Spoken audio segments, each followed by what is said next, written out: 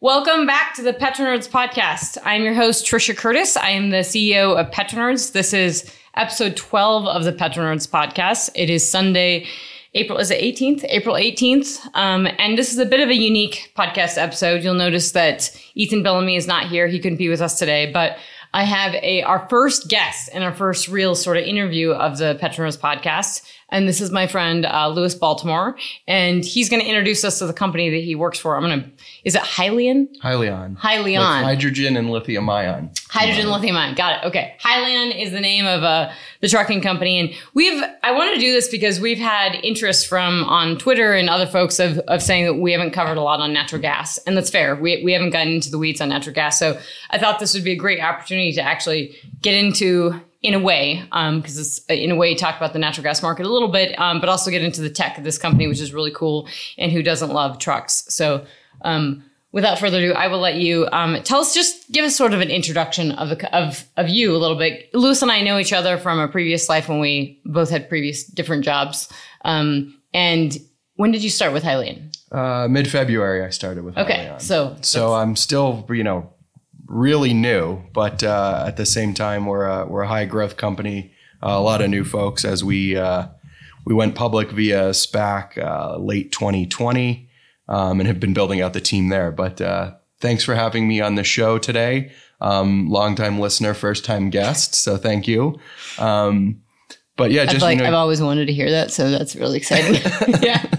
So just you know a little bit about myself. I'm the head of investor relations um, for Hyliion and Hyliion makes electrified powertrain solutions for the class 8 trucking space. So what that really is is the big rigs that you see on the highway, you know, some people call them semis, 18 wheelers, class 8 vehicles, you name it, but those big rigs you see on the highway, we make electrification solutions for that. Um, uh, you know, heavy duty trucking is, you know, one of the large, you know, transportation, I guess, is the largest or one of the largest carbon emitters on the planet, and heavy duty trucking is one of the largest emitters, if not the largest, within that segment. So, um, you know, we thought it was a good one to focus on for decarbonization.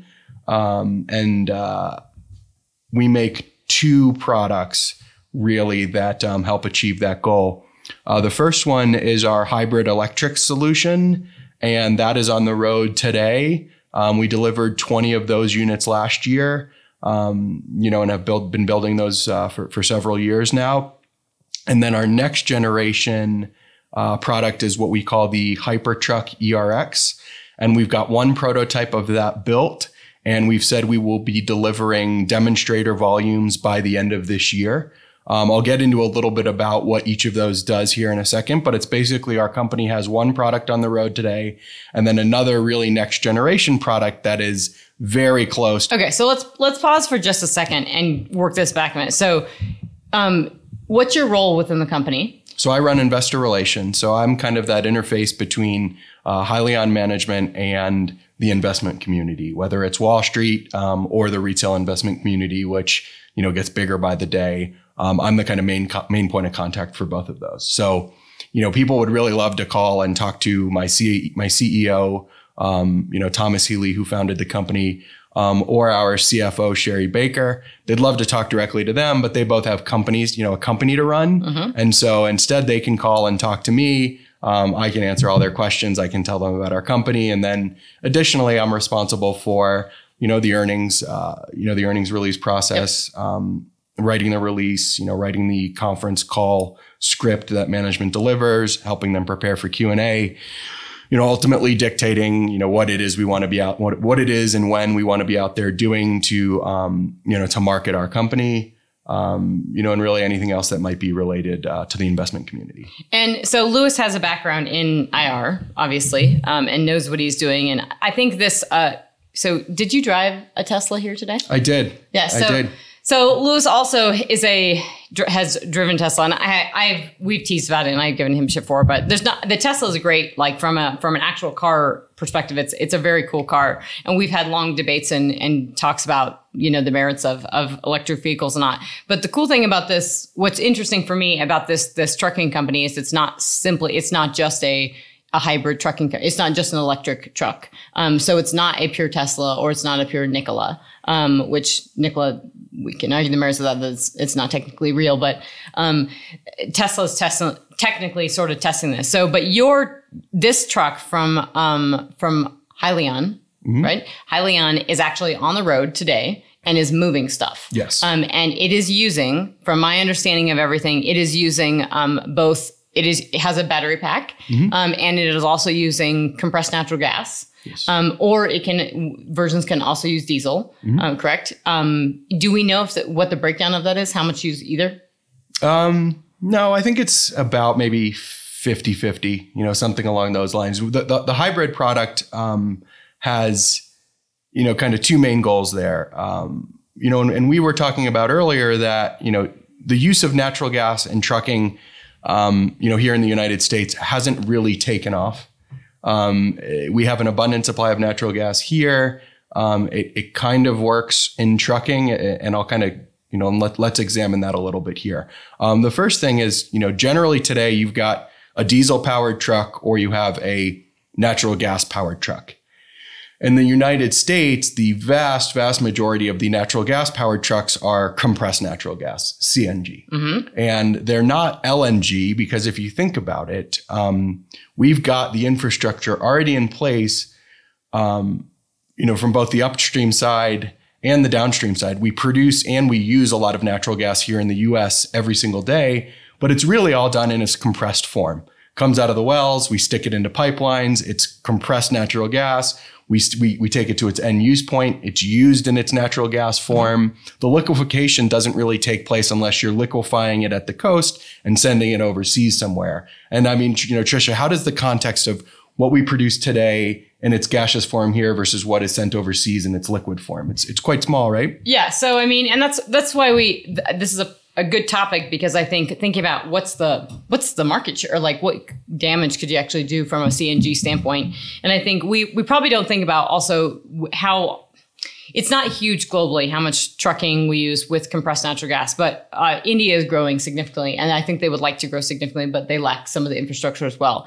So, just for perspective, I mean, we produce in November 2019, we produced about 116 BCF a day or 116,000 MCF a day in the U.S. Um, of natural gas, so largest producer in the entire world. Now that declined and dropped at the low, along with crude oil production in May of 2020. That dropped to 106,000 MCF a day or 106 BCF a day, and we've since recovered, which I think is important to realize is that we've recovered to 113,000 MCF a day or 113 BCF a day, and that is because natural gas is a you know it's a different size molecule. It comes up the wellbore often a lot easier. Sometimes we're getting a lot of associated gas. We produce over 17 BCF a day in the Permian. Gas in production, for example, and the associated gas in the Permian has recovered significantly better than, than oil because sometimes your older wells are producing more gas. The point is, in a nutshell, we have a lot of the natural gas in the US. We're exporting about 11 BCF a day, and we've held around two to three dollars, you know, Henry Hub, you know, for for several years actually. And we, we obviously had recent price spikes and everything, but when you work it out in the wash, it's pretty cheap. So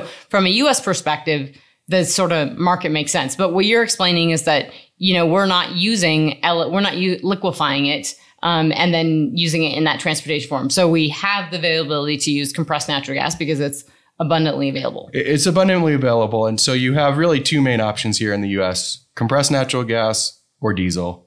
And, you know, let's say I want a really green trucking fleet, um, and I'm deciding between diesel and natural gas. Well, I say, okay, natural gas is um, orders of magnitude cleaner than diesel. Um, burning natural gas in transport, about 90% lower nitric oxide emissions with these near zero emission uh, engines that they have on the road today, and 99% um, sulfur oxide emission reductions when comparing to diesel uh, as well. So great. Natural gas is really clean burning, and it also can be produced and extracted here in the U.S. Um, you know, really more cleanly than anywhere else on Earth.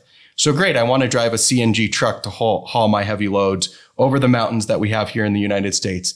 Doesn't really work that way. The problem with a CNG powered A truck, pure CNG. pure CNG powered truck, not our trucks, but a pure CNG powered truck that we can then get into how Hyliion solves that problem.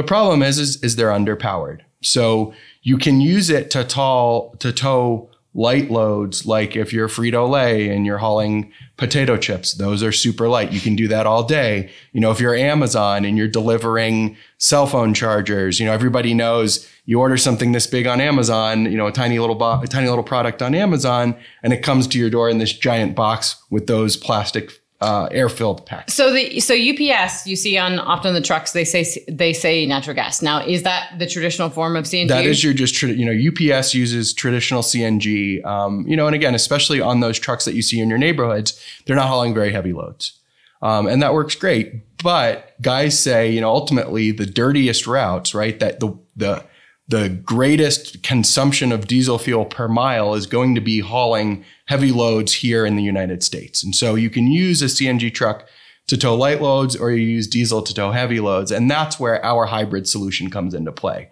And so you can take a CNG powered truck. Again, it doesn't have the horsepower, it doesn't have the torque that its uh, equivalent diesel does. And you can mate it with the Hyliion um, hybrid electric solution and what you essentially have there is a diesel equivalent power and performance from a natural gas fuel source. And, you know, hybrids, just like they do in your Toyota Prius, they further improve fuel economy. So you actually have um, an even more efficient CNG powered truck that can do the work of a diesel. And but why is okay? I don't mean to interrupt, but I, this is a, the technical side because I mean, if you've watched Top Gear or or um, the their follow-on show that's on Amazon Prime. When they talk about the tech on the electric vehicle side, they explain it actually really well. The same this, but this CNG, why does it not as a the the way the trucks are built, the reason it can't is it because of the tank, or what is exactly holding back uh, the traditional CNG without a better what from a power perspective that it literally just can't get enough fuel I into mean, that it, to do it? It's just yeah, you know that that your, your pipeline spec methane, it, it kind of just lacks the oomph that diesel fuel does. And, and, you know, one of the things that makes distillate fuel, whether it's diesel, jet, gasoline, whatever it might be, one of the reasons why it just works so well worldwide for transportation or really anything else is because there's a lot of energy per unit in there. Yep, Louis and I both listened to the Energy Transition podcast, and um, they, I think the, the when they were talking about hydrogen, the guy did a really good. One of the experts on hydrogen did a really good job explaining why it hasn't really. Pen, it's really hard to penetrate jet like jets, you know, flying or um, aviation or just trucking, uh, because it's just hard to actually combat a the density of the, the energy density of diesel in trucking or the energy density of jet fuel and being able to sort of move it. Um, but this is kind of like you're kind of describing the perfect solution in that you've basically grabbed the battery and you've got you've figured out the sort of tank size and you can either use diesel or or natural gas, and mm-hmm. it's going to give you that oomph and take you a little further. Absolutely, and so you know it really just kind of kind of gets you to that next level. And so, for example, one of our um, you know partners on the hybrid side is Wegmans, which is a grocery store chain um, in the Northeast. They're based in Rochester, New York, and they're they're a perfect example because they tow heavy loads. They tow light loads. They like to tow tandem trailers. You know, those guys you see on the highway with not just one giant trailer on the back, but two.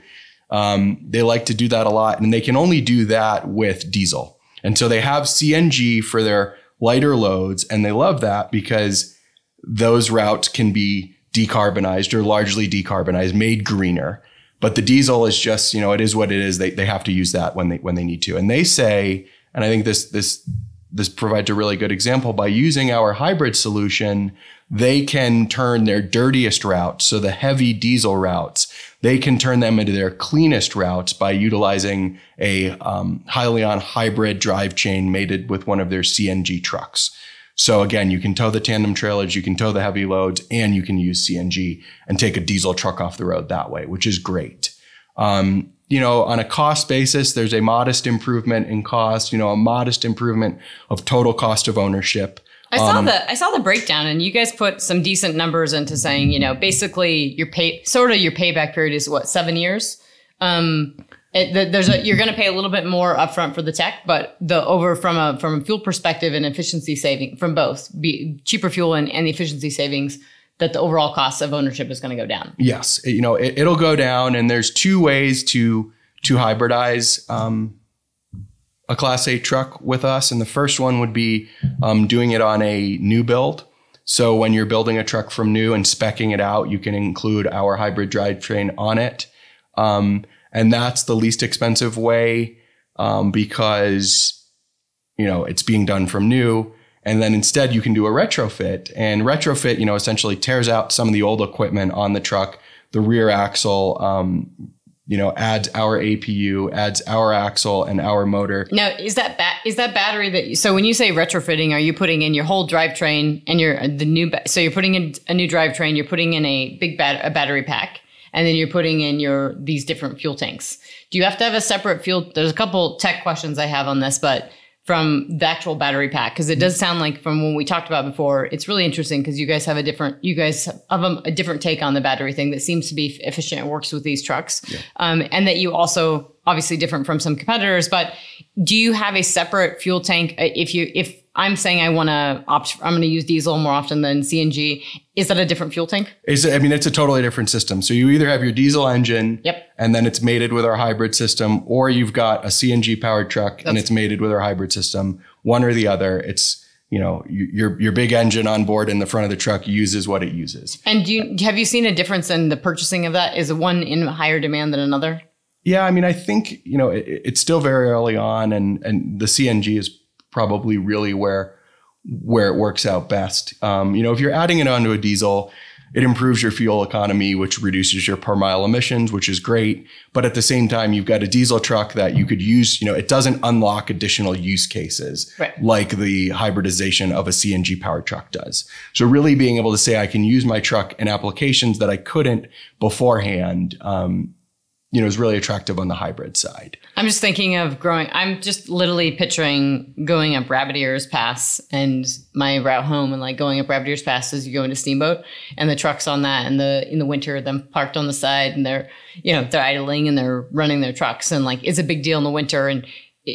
Or, um, Louis and I have talked about this as well of like this whole concept of you know, not having, you know, especially when you're trucking in the mountains in the winter, not being able to have a pure battery solution necessarily because you need some kind of, you may need some kind of, or to help with it. But this is a great opportunity, I think, to talk about the tech of your battery that's a little bit different than maybe some peers or how we maybe think about the, um, the pros and cons of, of battery technology and, and what's different about your, this battery. Yeah, absolutely. And so, um, you know, I don't want to spend too, too much time talking about the hybrid because we've got a, you know, really exciting solution coming up next, which is our Hypertruck platform, the Hypertruck ERX that will be um, building more volumes here shortly, delivering additional volumes by the, by the end of this year, um, and then ideally moving into commercialized production for that product uh, sometime in 2022. But um, you know, really, we were mentioning the battery. We don't use your standard lithium-ion um, batteries that you know is in my Tesla sitting outside here. Um, those batteries are very large and very heavy, and um, you know they kind of become the payload to an extent. They work great because they are very energy dense. You can put a lot of energy in them. Um, you know, so if you're charging it overnight at your home, or if you're charging it on the side of the highway, you know, if you're charging it in a stationary manner where you've got to pull over and charge it for a while, that technology works better. But our, you know, in both our hybrid system and our Hypertruck ERX, you know, we are we have a smaller battery that we're then continuously feeding power into it and pulling power out of it. So continuously charging it and discharging it um, over the road. And we use a lithium titanate uh, technology there, which is a different type of battery. Again, it charges and discharges very quickly and very safely and can last a long time. Safety is a very big one. What from a obviously titanate, it's it's not um, your your typical lithium ion. So what does the titanate do that these other batteries don't? It, I mean, you know, one of the things that we do too is, you know, we have this onboard cooling system that keeps the batteries um, cool so that you can, again, you know, if you think about when you're charging your cell phone, when it's plugged in, it gets hot, you know, we cool it. And then same thing, if you're using some battery a lot, it warms up. That's kind of Heat big. kills efficiency. For we're talking about trucking because yes. I mean, the biggest, the thing when I think about just a pure battery truck, a pure electric vehicle, mega truck, you know, that's hauling stuff um, and you know, I've thought about this a lot within discussions with Ethan and stuff because we we think about you know mining and everything, and the reason you're not going to be doing these things with big vehicles with if they're powered by diesel is simply because you, you you can't otherwise do it. But a big truck with a battery, you have the capacity one to you have the space, right? Mm-hmm. And so you can put the um, and if you have the power, you can make that sort of work. But if you're cooling that, that's just additional efficiency that you're in theory that's additional efficiency that you're giving it because it's going to let the battery be used more when you need to use it more. It, it works out a lot better. I mean, you know, with our battery technology, so we buy the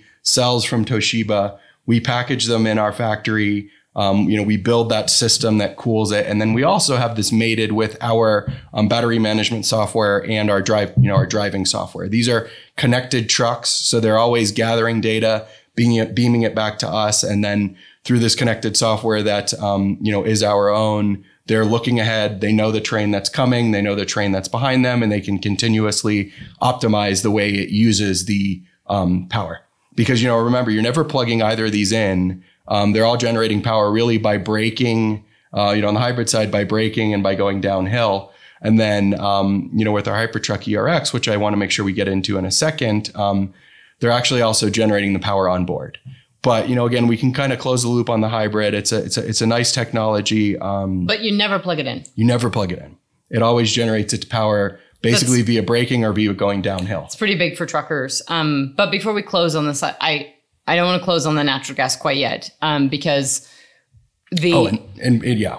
Uh, the, the, the natural gas is a, it's kind of an involved thing, and I want to get into the, the Hypertruck thing, but it does seem like that both from a the compete. You know, if I'm thinking of of if I'm just thinking of trucking, the the needing to pull over and to charge it up, and the fact that your battery packs would be so damn big, it would take a long time, and it's just not. Yes, the guys can sleep and everything, but you have to have. So you'd have to have. You know, I don't even know if if you were a, a if you were a big Tesla truck, you know, are you p- charging in a Tesla power superstation? There just doesn't seem to be. Are there enough one just a charging stations? But from a CNG perspective, we do have a lot of natural gas. We do have a lot of facilities that you can actually gas up at. Absolutely, and so you know, and that's a big one. I mean, look, I hope I, I hope that Tesla sells you know a whole ton of their semi trucks.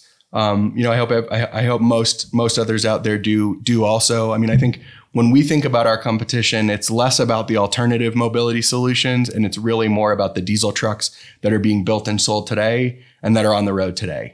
Um, you know, there are different different applications for the various alternative solutions, um, and we all hope that we can move away from diesel um, into these kind of next generation technologies that are most importantly on Hyliion side going to work as well or better and save the trucking fleets money. And so when we talk about, um, you know, we can get into a little bit of the economics here in a second, but first, you know, the big thing is, of course, range, right? You know, where where are you going to go? Where can you fill up? Where can you plug in to charge a car? Where can you plug in, or where can you fill up with hydrogen today or tomorrow? Um, you know, if that might be your, your your solution as well. And the answer is, you know, you can sort of do those um, other two options if you really, really, really think about, you know, if you really think about it, but with a. You don't want to have to do that in business. This is not a, you, this is trucking. You want a very long range, you want a distance, and you want to have to not, refueling if you're stopping to refuel every five minutes is going to be a pain in the ass that, that's exactly right i mean so our trucks um, you know there's almost 750 um, commercial cng filling stations um, here in the us um, you know, stations where you can actually fill trucks. I'm not counting ones that might be on the corner in a neighborhood that you can only fill passenger cars, but truly commercial filling stations. There's, uh, you know, almost 750 of them today, and that's about where Tesla's supercharger network was about a year ago. That's a pretty that's and a pretty so, good stat in terms of uh, just the the number of them. I mean, it's it's it's it's huge. I mean, there's they they are everywhere where you can really, for the most part, without having to think too much about it, get from point A to point B and utilize existing existing natural gas filling infrastructure. Um, and so, you know, again, there will be, um, in theory, they'll be building out uh, electric charging stations for commercial vehicles. They'll continue building out electric charging stations for passenger vehicles. But today, the CNG filling infrastructure, you know, is really quite good. Um, it's there, it's abundant, it's easy to use, it's safe, and so that's kind of one of the reasons why uh, you know why we've picked that technology today. Um, it's you know it's easy and abundant and it's really really inexpensive. Natural gas is a lot cheaper on a gallon equivalent basis compared to gasoline or diesel. And this so the reason one of the interests i had in having louis on the show is because not i mean one we aren't we aren't anti-renewables by any means but um, the tech of it is really cool and i think that a lot of folks when you're thinking about and this you know louis is working for a company so these these are not necessarily his views but mine is that when you're thinking about the energy transition and you're thinking about what to actually invest in and what things will work. Not everything will work. Not, you know, we're seeing major, you know, concerns and issues, obviously, with Chinese solar panels and all kinds of issues like that. But things that are working that you can, you know, combine together and things, especially when you have the domestic production of natural gas and it is cheap and it is abundant and you have the infrastructure and you could grow it and it actually fits in the whole framework of reducing carbon, not just NOx and SOx, but reducing carbon emissions. It's kind of the, it, it's a win-win in a, in a lot of different ways. And even if it doesn't surge in the next couple of years, it, natural gas really may be seen as a solution, um, you know, in the coming years that increasingly so as folks realize that, you know, it takes, you know, multiple years to build a, you know, a battery processing facility. It takes years to build a mine and it takes years to build a battery processing facility. And that we may be using solutions like this that are really could really ramp up at scale in the near term, um, which could be really, really cool. Yeah, absolutely. I mean, I think, um, you know, you really people really like to talk about you know uh, vehicles that you plug into the wall at night or during the day. Um, you know, they really like to talk about hydrogen fuel cells. But I mean, if you think about it, you know, UPS, Amazon, several larger other really large global fleets have made it made near term commitments um, to natural gas because they can see immediate um, you know immediate decarbonization. Uh, impacts from moving from diesel to natural gas. But again, you know, there are those limitations. And I think that's really where our Hypertruck ERX, our next generation product, comes in. And this is a true game changer where it kind of all across the board hits you over the head with, you know, gee, this is a new a no-brainer. I mean, you know, everybody likes to everybody likes the ability to go green. You know, you can put it on the cover of your sustainability report or, or whatever else it might be. But you really don't want to spend extra dollars to do so. You don't want your cost to go up in the context of trucking. I mean, in the passenger space, your your car decision is largely an emotional one. Price is important, but you're willing to spend more money for some cool features, or maybe you're willing to, you know, forego some cool features if you can save a little bit of money. But ultimately, you don't stack everything up and just pick the cheapest one. When you're trucking, you know, you're really it's all about getting goods first and foremost safely and efficiently, but cost effectively from point A to point B. If your costs go up, that means you know either you have to sacrifice profits or you have to raise the you know raise the prices. You charge your customers. And nobody really wants to do to do either of those. And so our hypertruck erx you know you talk about a battery electric vehicle. Um, it is a battery electric drivetrain. So you've got a battery on board or a set of batteries on board. You've got the motor and the motor powers uh, the axles. But what's neat about this solution is you know, people think, what does my car run? You know, what does my vehicle run on? Oh, electricity. Well, no, it runs, you know, it runs on whatever was used to make that electricity. And, you know, here in Denver, for example, I think coal is what, 40%? It's about 30%. 30% of the power generation here in Denver is coal. So when I plug my car um, into my garage at the end of the night, um, 30% of that power is coal. You know, another, what, what is it? Natural gas? Natural gas. I think they're capping. Xcel's like capped it at twenty, but the energy content's higher in natural gas than it is in coal. So it's a it's kind of a wonky system. But so, so, it's a combination of gas. It's a combination of coal. You know, it's a combination of other stuff. Well, what we decided is what you know, and what we looked at is what if we generated the electricity on board our trucks rather than relying on availability of electricity. So the elsewhere. Hypertruck is never going to have to be plugged in either. So the Hypertruck will never be plugged in. Um, you know, per its design today. Um, the way that works is we've got a natural gas generator on board that generates the electricity, charges the battery, and the battery powers the wheels. Um, in this situation, um, it's going to have iHeart natural gas stickers just everywhere. I mean, everywhere. You know, it's it's in this situation. You know, what we had talked about was Natural gas doesn't give you the oomph that diesel does. And so we can hybridize a natural gas engine. But then we went and said, let's look at all the benefits of an electrified drivetrain, a pure electric drivetrain. And that's, you know, like everybody else talks about Um, if you've ever driven an electric vehicle, you step on it and the power is there. The power is huge and the power is instant. You know, you're not That's why shifting you have gears e-form- and shifting Formula. You've got the electric Formula One. It's why you have like awesome electric. It's why you drive the Tesla. I mean, it's a fun car. I mean, it's you know, Mike. I, I, I joke. You know, I have the performance model. Um, you know, talk about emotional decisions. I joke that at any at any given time, my car, you know, not not the Porsche next to me, but you know, my car is the fastest car on the road. Yeah. and that's because you know, a, as long as the weather, as long as the weather is good, as long as the weather cooperates. as That's long a as the great weather point. cooperates, it's you're you're in good position. And so, you know, that electric drivetrain is is is is really nice. Um, and so the Hypertruck gen- generates the power on board. Um, so again, you know, we talked about those, you know, and that's got a range in excess of a thousand miles. And then also, you know, what we talk about with our truck is this one.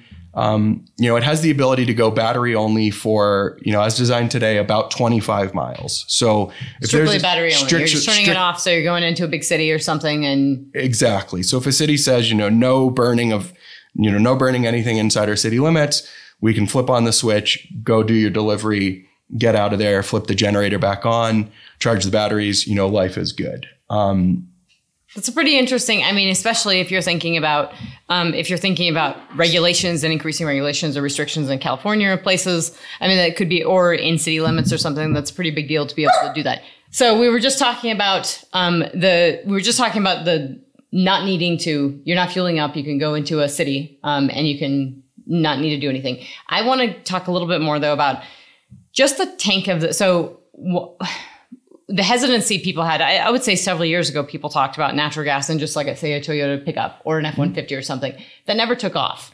And you know, even with declining natural gas prices, we never saw natural gas take off in regular um, passenger vehicles for a lot of different reasons. And I think you probably saw as a, as a kid, I paid attention to it, but when Dateline or National Geographic did this stuff, and a lot of it you know, when it was even, I think they talked about fuel cells and hydrogen 20 years ago too, but always it was like the actual tank, the ability to compress it, the ability to get it. The tanks were too big or they just couldn't work or your truck, literally truck bed would be just one big tank. But this, you, you seem to have kind of, one, the technology I'm guessing has grown significantly um, to be able to do this properly. And the fact that it's a big truck makes a lot di- more difference because you can put a bigger tank and it just is kind of the right combination of all this. Am I thinking about this accurately? Yeah, I mean, what's what's really changed there, you know, what really changed the game, you know, tipped the scales in favor of CNG over LNG here in the United States. You know, we we had already established that there's a tremendous amount of infrastructure in place from all the other production, consumption, and transportation of natural gas. Um, there are pipelines everywhere. Um, but the tank technology just wasn't quite there in the past. The tanks were too heavy um, in order to handle the pressure. They were like big scuba tanks, which if you've ever lifted one, they're extremely heavy um, and they take up a lot of space. The walls on them are very thick. And so That's what I thought. The, Today- the walls being really thick. today, what we're doing instead of a very, very thick steel heavy tank, it's a composite material. So it's, um, you know, it's lighter. Um, you know, it takes up less space, and they're ultimately now, you know, it's the it's the reduction in price of that composite material that's made it work. Um, so the tanks now are cheaper and better. What is that composite material? It's some sort of carbon something or other. Okay, so but it, and it's it, that's obviously progressed significantly in the past few years to make that actually work. So it's thin enough, it's light enough, and it's safe enough that this works. Absolutely. Okay, that's awesome. Yeah, that was. I think that's a gap that that could really. That's sort of an accelerating factor. Yeah, absolutely. I mean, you know, just like anything else, technological progress, um, you know, changes the path of transportation, changes the path of everything else, and it's really tipped the scales here in the U.S. in favor of CNG. Um, so, you know, again, we had mentioned, uh, you know, almost 750 CNG filling stations with a thousand plus mile, you know, range in excess of a thousand miles.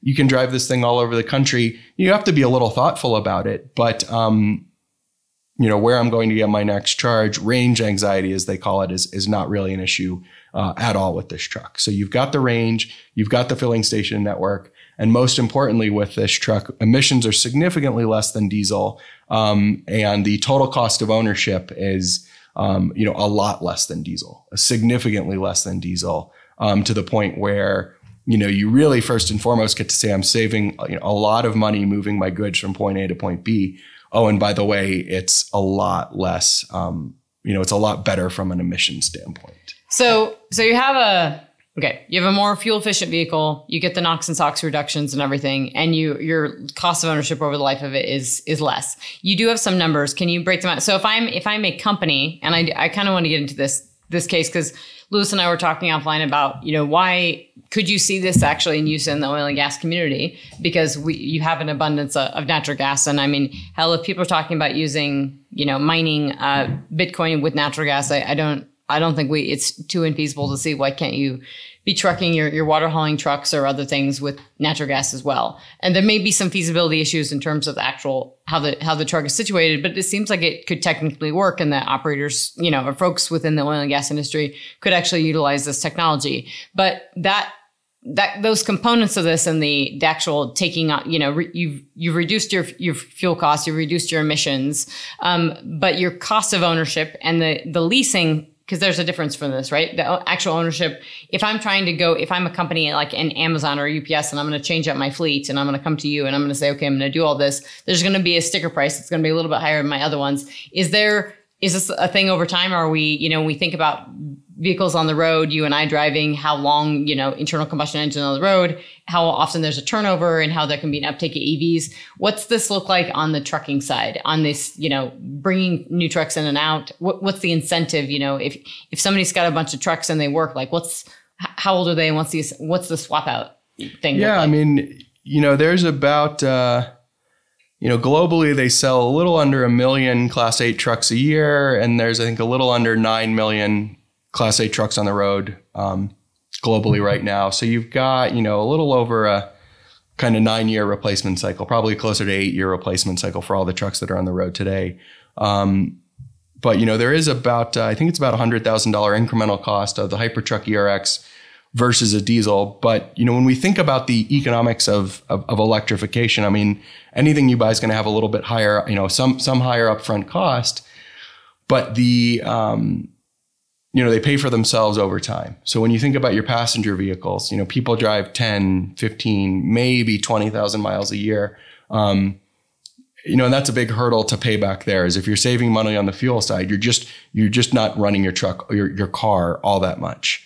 But, you know, truck drivers, they tend to run those trucks, call it a hundred thousand miles a year. Um, so if you're talking about like a, you know, a seven year useful life, you've got, you know, 700,000 miles you're putting on these trucks. And so the fuel savings portion, um, you know, it, it is very significant. I mean, we talk about, you know, maybe a 35% reduction in the um, per mile cost of this truck versus a diesel. And so, um, you know, you think about it, well, higher upfront cost, nobody wants to pay that. Well, the majority of Class 8 trucks on the road today are leased. So rather than the upfront cost that you have to figure out how to finance yourself, um, you sign a lease and you have a monthly payment. And so your monthly payment goes up and, you know, your monthly payment goes up, but your monthly payment on the, you know, your monthly cost on the fuel side goes down significantly to the point where you're saving money every month. You're basing that on on historical diesel prices, which haven't been super high in the U.S. and historical um, and natural gas prices, Yeah. correct? So I mean, and I, I think that's just an important thing. Point the reason I threw out those numbers of how much we're producing is that you know even with a drop off. Let's just say we never get back to pre-COVID levels in, in crude oil and we're at 13 million barrels per day. We're probably still, we have the ability to still grow in natural gas. And it's just a big, uh, the the concerns that we're going to see a spike in natural gas prices, I think, are relatively muted. So it really makes a, especially for the U.S. domestic market, is a very viable long term solution. Yeah, I mean, and I think uh, you know also when we talk about natural gas prices, um, you know, I've seen some numbers that talk about the commodity input cost for natural gas on the on the road natural gas fuel is about 15, 15 percent of the total cost. So whether there's any processing involved or transportation or maintenance or building of the fuel stations, it's really the input cost of natural gas is only 15%. So, you know, even if natural gas uh, were to double, um, you'd be looking at a, uh, what is that, a 15% increase in your uh, Yeah. fuel cost at the end of the day. So it's also, you know, it's, it's not as sensitive. You know, you also, you also get better visibility into your pricing. This kind of gets back to the whole it's more of a domestic market because you can't, you have to liquefy it and then you have to transport it. And so we have a massively growing, you know, LNG market, you know, that I think Qatar is taking a huge share of and, and as well as Australia. But when we think about, I think the size of it, and I, I want to touch on this just a smidgen because I would like your perspective on uh, other markets. I know you guys are focused on the U.S., but markets outside of the U.S. Um, and you know, I immediately think of listening when when Meg Gentle was the CEO of Tellurian, and she had made some comments at some conferences about you know just the the uptake of natural gas in India and really the market, both from a CNG trucking perspective and the market opportunity for that. And then I was thinking, you know, well, it is a little trickier when you have it, it's cost a little more. So LNG prices have certainly come down. We're exporting 11 BCF a day. We are contributing on the global spot market, those prices coming down, but they range, they can range between six to, you know, 15, you know, um, bucks an MCF. So that that's, it's a wide range. So it's not nearly as cheap as we're seeing here. So would, it would maybe there could be some resistance, especially if you don't have it if you don't have it abundantly available and you're not producing it. But places where you have it, or the ability for, you know, if lots of Russian LNG is going into Asia, if lots of US LNG is going into Asia, in theory, the prices will continue to decline over time. And this is a viable, this is not an unviable solution. And for Europe, this may really be, especially if you think about, you know, maybe hydrogen. I, am skeptical of, of anything immediate hydrogen. But in Europe, I could definitely see this working, this being, um, whether it's completely feasible or not, that they may just want to do it from a NOx and SOx and MPG perspective. Um, the, you know, there, there are also two things I want to talk about, you know, that's exciting about this technology. And the first one is um, the presence of renewable natural gas, which I didn't really understand much about until I really started digging in it, digging into it after starting at Hyliion. But that's producing natural gas from landfills, wastewater, um, you know, dairy farms. Um, Literally something that Chef, it's it's. I mean, when we talk about renewable natural gas, we're talking about anything that's already you're you're capturing natural producing methane emissions. All right, so we're talking about renewable natural gas, and you're just explaining. I mean, I didn't know much about it either, but in all intents and purposes, it's literally renewable. It's coming from natural. It's coming from natural sources, and you're capturing it. You're preventing it. From, you know, you're preventing anything, whether it's methane or methane byproducts, from escaping into the atmosphere first and foremost. And then secondarily, if you can take that captured methane, then you've got all this methane. What do I do with it? Well, if you can then burn it and produce power, and the, you know, and in our case, we're producing tra- you know power for transportation you can also, step one is you're eliminating it from going into the atmosphere in the first place. And then step two, you're eliminating the consumption of a built for purpose transportation fuel, whether it's, say, diesel, um, you know, produced from crude oil or natural gas produced from, um, you know, oil and gas wells here in the United States. And so um, you're really reducing emissions twofold.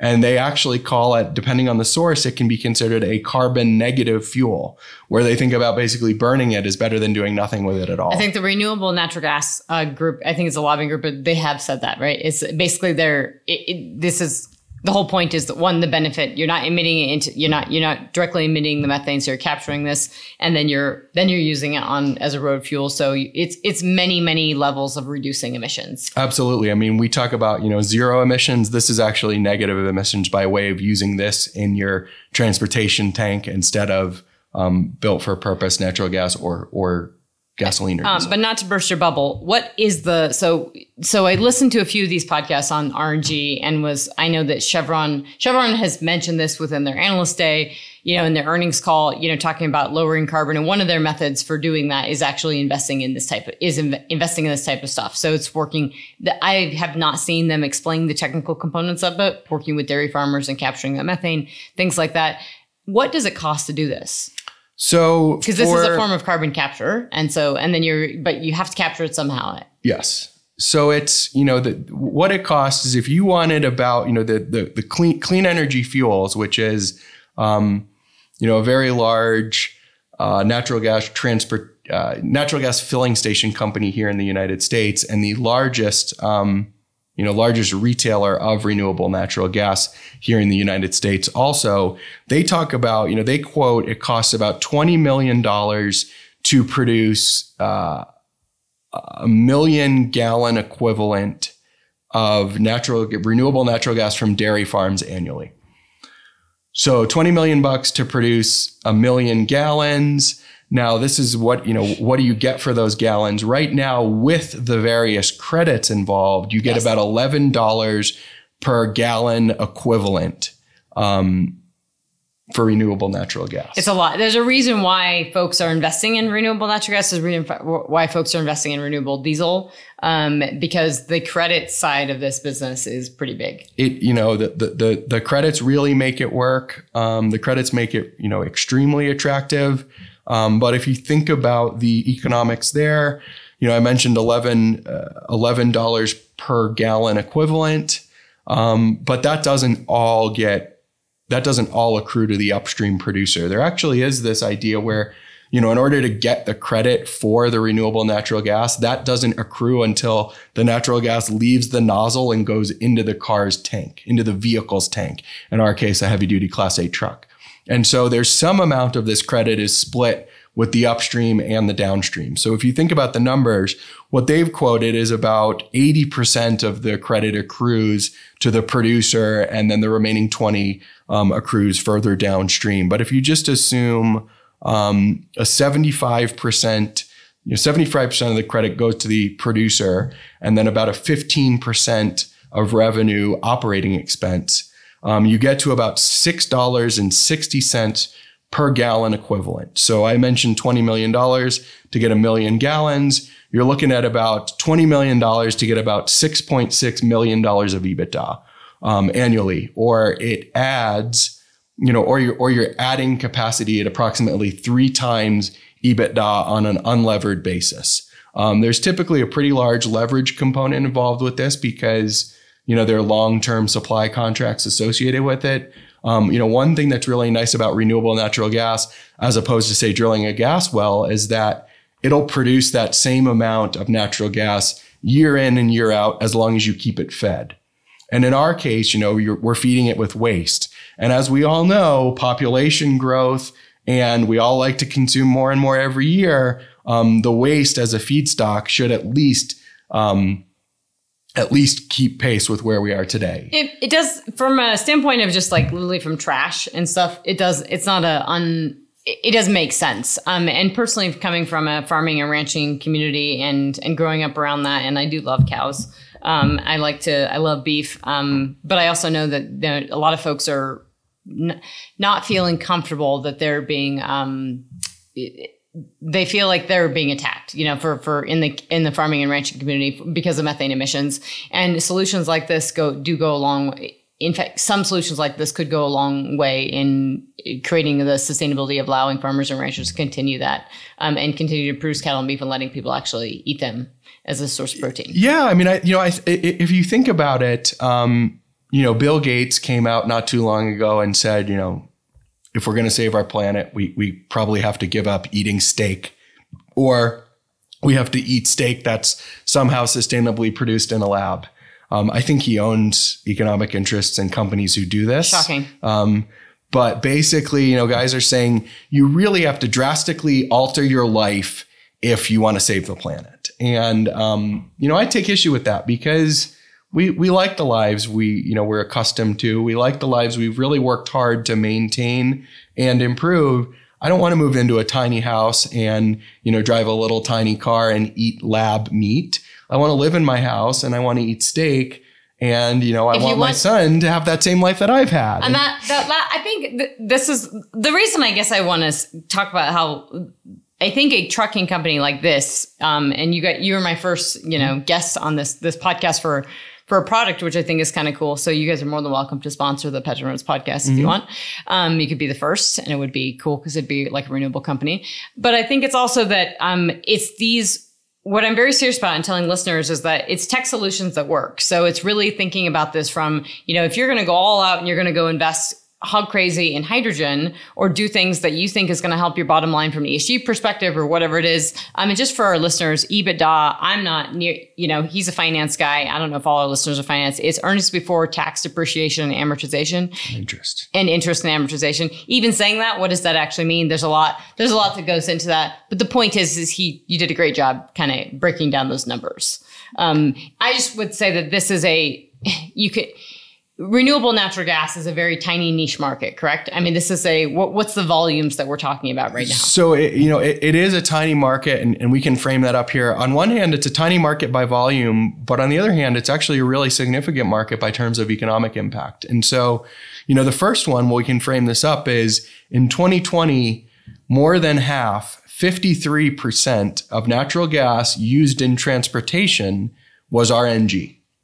Now, that's up from 40%.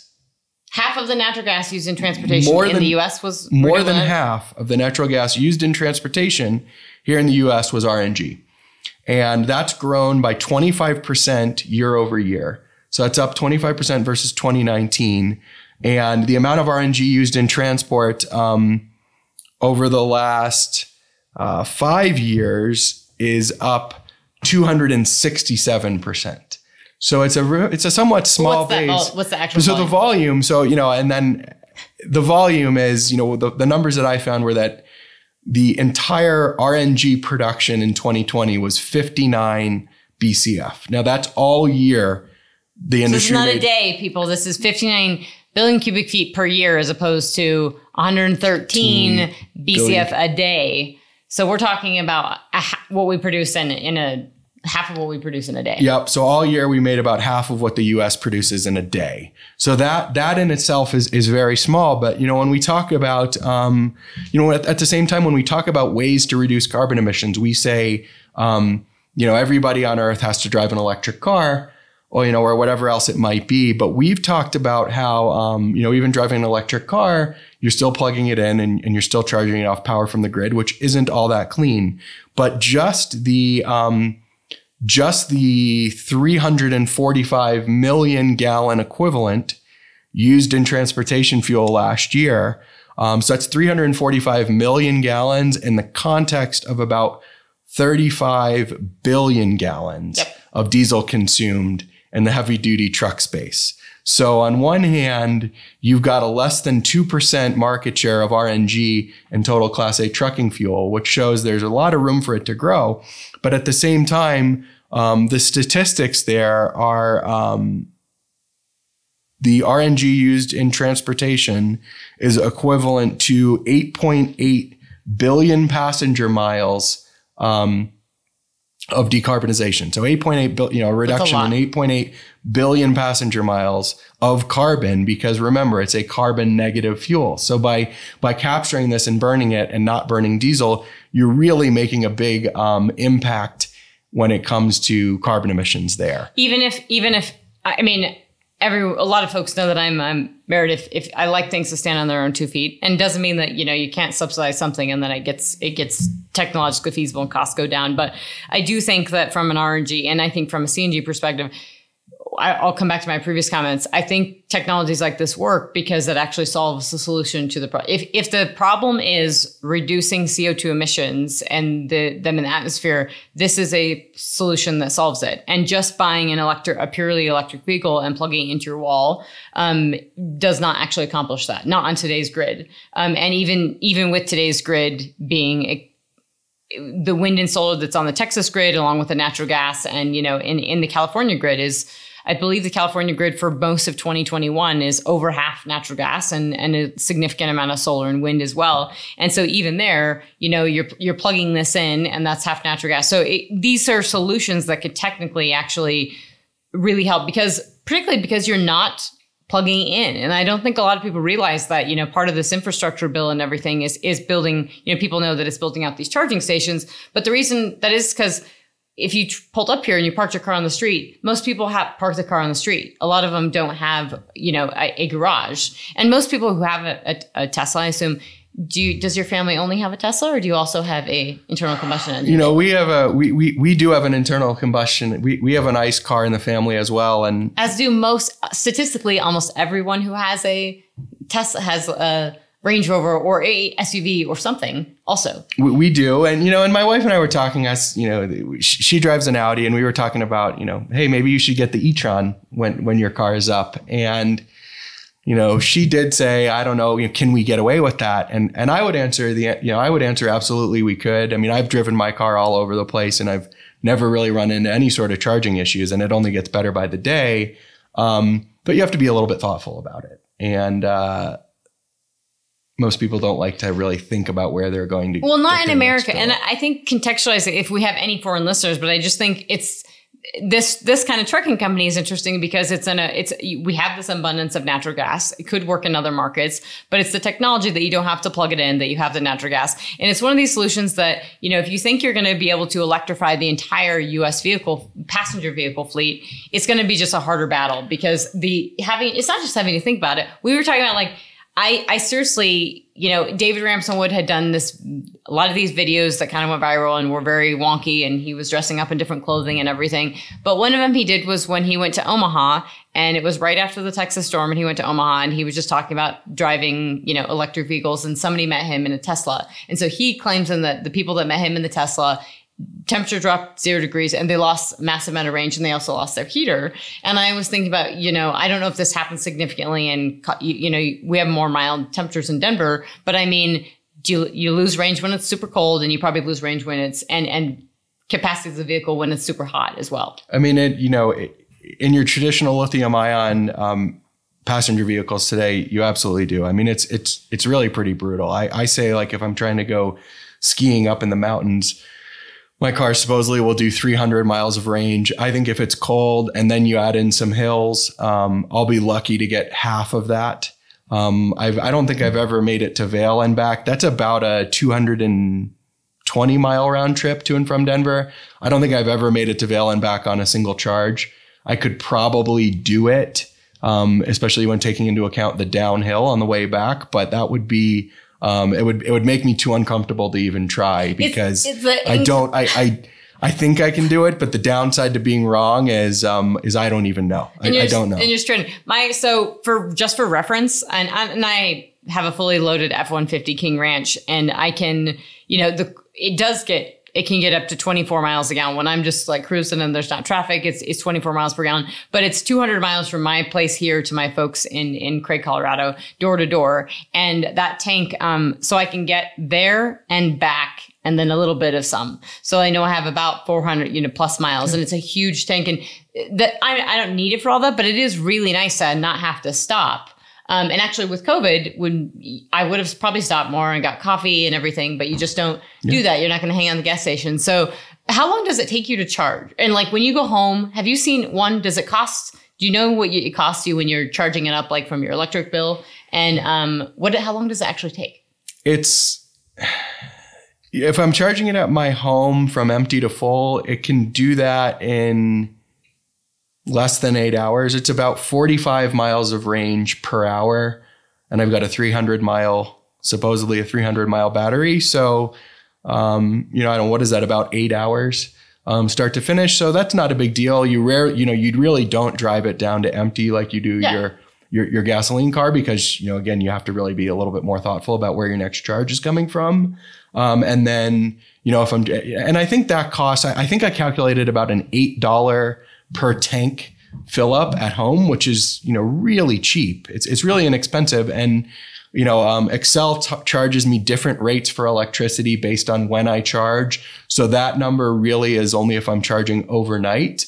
Um, you know, if I'm charging at 2 p.m. during the summer, it's uh, I think close to three times higher than that. Still very affordable, but um, you know, to charge on Tesla's supercharger network, um, actually, just the other day, I was going to pick up my family at the airport and I had to stop and charge because it was too cold um, at the time and I needed more range to get there and back to the airport than I had in my car. So I stopped and I got about 100 miles of range um, at their supercharger, which is they really have gotten quite fast these days. I can was, imagine. I was charging at about 550 miles of range per hour on that uh, charger, which I think was the fastest I've ever seen and there were two other guys plugged in next to me. Um, so it was it was really quite fast, but I you know I, I got 100 miles of range and it cost me 10 bucks. Um, so I talk about you know about eight dollars for 300 miles at home. um, it's a lot more expensive to charge using their supercharger. And they, you know, they know as well. And so they'll charge me more to charge my car during the day than if I'm plugged into a supercharger at 1 a.m. Um, which gosh, I hope I never have to be at a supercharger at 1 a.m. But it's considerably cheaper during during those times. But, I can imagine. But it's also it's not one of those things like it's just not. I mean, the, the reason I think it's an it's it's super interesting conversation because you know I think I think folks from the energy transition podcast or, or out, folks not in the oil and gas community might listen to this and say, well, you know, you can you do change your behavior, and I think people will. You know, if you buy a, a Toyota Prius or you have a Tesla, you're gonna be more thoughtful in how you're driving and, and change your behaviors and stuff. But there are just applications where you cannot do that. And trucking and like aviation are some of those applications. I mean, I'm, you know, I'm, I'm, I like to think of myself as a pretty techie guy, you know, an, an early adopter, if you will. Um, and I like, I've really enjoyed the ownership of, of an alternative fuel um, car myself. But, you know, you talk about changing your behavior. Um, you know, if, if my mother, was driving this car. You know, she is not very techy, um, and you know she doesn't she doesn't really have the ability to think about differences in range and weather. You know, she likes to think I have half a tank of gas. I kind of know far know how far I can go, and so you know if she sees 300 miles on her dashboard and she goes to make a 150 mile trip and it's cold and she runs into trouble, she's going to be calling me from the side of the road saying I'm out of fuel. You know, I'm out of fuel and you know to say to her well didn't you think about the temperature? You know didn't you think about that? You know how cold is it outside? Oh 30 degrees? Come on you should have known you were going to get less. Like no it's you just, get in your car and you want to drive. You don't want to have to really think about it. And so um, that's a big deal you know for the plug-in BEVs but you know again because our products have this proprietary battery cooling system in them um, that's again you know mated with our software um, we have the ability to much better control the environment that our actual battery and motors are in and really mitigate the reduction in performance caused by fluctuations in weather. So um, so when let's just uh, before we close this cuz we can do this so tech so when we get you're in the mountains and it's super cold or when it's super hot you're in California whatever the temperature is what happens within your truck that's different? Nothing. But I mean, I mean, from a tech, it oh, can cool so from a, te- from a yeah, so the from a batteries are cooling and the technical system is adapting to that. Obviously. Yes, yes. So that you know they, they are liquid cooled, and so you know whatever's going on outside, there's a liquid buffer in between the battery, the battery lines, and the motor, and the outside environment. So um, you know, my, I think you know your your typical plug-in battery electric vehicle. There's some insulation there, but um, you know, if it sits overnight in the cold, it gets cold and it's in the cold weather. Whereas our system has the ability to um, climate control itself so that you don't run into those issues. Okay. Yeah. And that, I don't know. It just it just seems to me like it's a it's kind of a no brainer from a, a an electric vehicle natural gas standpoint. It, it's just a it's almost like the perfect combination. I mean, it allows for significant decarbonization. I mean, you know, negative carbon when you're using renewable natural gas, and as we've established, you know, more than half of the the uh, natural gas used in transportation in the U.S. is renewables, and that's only going higher. Um, you know, but then even when using conventional natural gas, it's still, you know, about a 25% reduction in emissions versus diesel. Um, so again, you know, total cost of ownership goes way down, emissions goes way down, regardless of what your fuel source is, whether it's uh, conventional natural gas or renewable natural gas. And then, um, you know, and your performance is better as well. Um, you know, and one thing we didn't really get a chance to, to to get into either here. You know, this is really kind of a an oil and gas focused podcast, but you know, everybody likes to say, well, that's great for now, but once hydrogen gets here, your product's going to have no more use case. And what's really neat about our product is you know that that's not that's not really the case at all. We we say it's a fuel agnostic solution. So today because natural gas works best, the generator on board is powered by natural gas in the future as they start to produce hydrogen. And by the way, it needs to be blue or green hydrogen mm-hmm. to truly be environmentally friendly. The gray and black hydrogen produced from natural gas um, and oh. coal oh. today is not is not clean. Um, but someday well, maybe it will be. We uh, so both Louis and I have listened to the well. If you if you get into anything hydrogen, you will quickly realize that it's kind of a rabbit hole, and you can keep going down. And I have tried to go into it, and I will continue. But it's one of those things that I believe ninety eight percent of. So to, to focus on the truck, like I think this fuel agnostic thing is that you're basically saying, and I, if you pull up the company, you'll see in the earnings presentations and stuff that in the future, if you guys, you know, have an, you'll have the ability to go to hydrogen if you want to. Absolutely. Um, so you'll have that fuel agnostic. That being said, I'll be completely honest in that I do call BS right now on hydrogen because I think that in, in the current context, this has nothing to do with your guys' trucking system, but the ability, the technology just simply isn't there because the con, the concept of hydrogen is that one, almost all that's produced and consumed at refineries. So oil and refining oil at ref- oil refineries. Almost all it's produced and consumed there. So lots of folks in the energy transition community talk about hydrogen as this, you know, this new saving grace. And it is very interesting from a technological standpoint. But as it stands today, we don't have an abundance. We're not, one, we're not producing abundance of it. And what we are producing definitely is not green or blue or turquoise. And this whole gray, black, blue, green, turquoise, and, and what it's basically hydrogen does not stand alone. It, it's connected to either oxygen um, or it's connected to carbon. And so you have to take those off and you have to use either a form of energy to take those off or you have to um, use electricity, which uses a form of energy to take those off. And so typically, unless you're using like a pure hydro or pure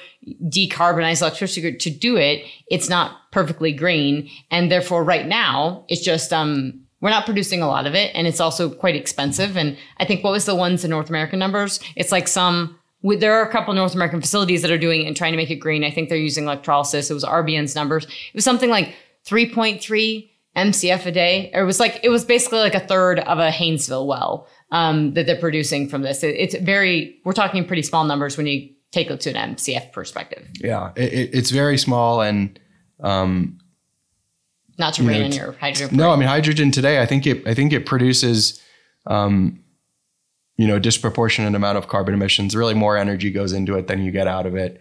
Um, I saw a stat. It was like it's produced. You know, it was something that accounted for two percent of energy somewhere and 4% of the carbon emissions in this same area. Yes. So it was, you know, way above trend when you're looking at energy and carbon emissions. But let's just, you know, eventually there's a lot of work going into it. There, there is. There's um, a lot of money and tech going into it. But, you know, I, I say we're fuel agnostic. So, I mean, it truly is, you know, and not to sound flippant, not that we don't care where the energy is coming from, but if hydrogen gets to the point where it's working and it's being done cleanly, then we've got the ability to swap out our power generation initially for a uh, dual fuel and you know dual fuel engine that will consume either natural gas or hydrogen, uh, depending on availability or depending on driver choice. And then when the hydrogen fuel cell does, um, you know, if or when it comes into existence, we have the ability to swap out that um, generation capacity with a hydrogen fuel cell, which then uses the battery as a buffer and then powers the uh, electric drivetrain that way. So the product really, um, you know, it has the ability to work today, and then it has the ability to continue to grow with whatever the uh, power generation future um, yep. throws at us. And as a business, it, it makes total sense. And I, I would, just, I mean, if I was your company or if I was advising your company, I would say that the, I mean, you can lean hard into natural gas in the U.S. Um, I think hydrogen, the first place you would actually see it viably is probably Germany because they're putting so much work, but they're trying to put so much work behind it. I still think from a technological standpoint, it's, it is going to struggle and it's going to actually struggle to be green. And folks that even try to do it are going to, the folks that are going to try to get the hydrogen are to Germany are going to cheat on that greenness. But that being said, you know, technological growth we see in our in oil and gas industry in every business that it, it grows, and so I, I don't think it's it's not that it can't happen for hydrogen. The fuel agnostic thing is also from a from however the the government's regular, you know, the government subsidize or credits or anything, it puts you guys in a really good position to be fuel agnostic. Um, it also does if, if we are able to export more, you know, depending upon how people view the energy transition and, and realizing what works in the short term and what doesn't. If we do end up exporting and getting more natural gas from not just from us, from other places to Asia, you know, these are big solutions for, especially for places like India um, and China, where you do have lots of, uh, you know, big industrial places with lots of trucking, this could be a huge game changer for an emission standpoint. Not just for we're talking carbon, but we're talking NOx and SOx and local emissions is something that they really, really struggle with. Is the heavy duty heavy duty truck fleet um, for them lorries is a big, big deal. Mm-hmm. Uh, yeah, absolutely. I mean, it's you know I, I, like to think that whatever the energy future looks like. Um, products will be well positioned to, to capitalize on that. And I think that was, you know, that was, that was what really ultimately attracted to me uh, to the company today was, you know, a lot of uncertainty with the world's energy future. And I think in whichever direction that goes, Hyliion's products will be well positioned. And so I don't have to worry about losing out because hydrogen fuel cells took over, or I don't have to worry about us losing out because hydrogen fuel cells, you know, never really took off. We'll be there either way. Well, with that, I think we are going to close this podcast. We're well over an hour. Uh, this is our first. This is the PetroNerds first first podcast with an interview. So the listeners are welcome to uh, give me constructive criticism on doing a better job of this um, or, or, interjecting or, or, changing things up. But Louis, it's really been awesome to have you on the podcast. Um, Absolutely. Really cool tech. Um, love that we got to spend a little time talking natural gas and certainly look forward to the follow ups. Great. Absolutely. Myself, myself as well. Thanks a lot, Trisha. Awesome. Thanks, Louis.